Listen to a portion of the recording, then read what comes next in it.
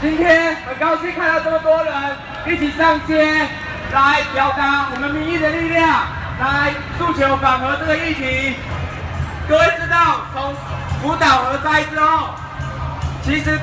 世界上各国的团体、各国的政府都已经在检讨本国的核能政策，因为核电它影响的绝对不是我们用电多少度，影响的绝对不是也是核电